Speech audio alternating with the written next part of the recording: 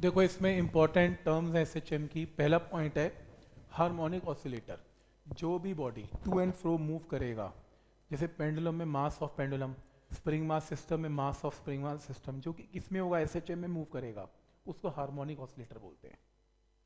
तो बॉडी को harmonic oscillator बोलते हैं, जो एसएचएम में मूव करती है। Amplitude maximum displacement is known as amplitude क्या हुआ है? ऑसिलेशन या साइकिल एक चक्कर काटना, एक पेंडुलम का या स्प्रिंग मास सिस्टम का एक चक्कर को बोलते हैं एक साइकिल ये ऑसिलेशन टाइम पीरियड एक चक्कर के टाइम पीरियड को टाइम पीरियड बोलते हैं और टाइम पीरियड की रेसिप्रोकल को फ्रीक्वेंसी बोलते हैं. तो ओमेगा क्या होता है? टू पाई बाई टी ये पता होना चाहिए.